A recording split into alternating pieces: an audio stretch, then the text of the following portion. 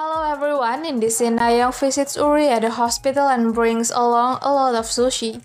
She expresses her gratitude to Uri because his assistants helped her pass the audition, although there hasn't been an official announcement from the television station yet.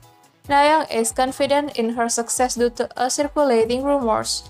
Meanwhile, Suji enters Uri's room with the intention of discussing work, but she stops talking when she realizes Uri has a guest.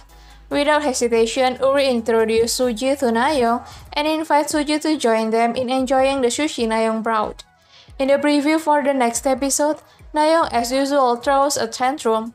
She becomes annoyed when Suji enters Uri's room while she is present. Nayeon never stops causing trouble for Suji. This time, she opens a locked drawer in Suji's room and discovers a yellow bag. It turned out that the bag belonged to Suji when she was young and was a gift from her biological mother.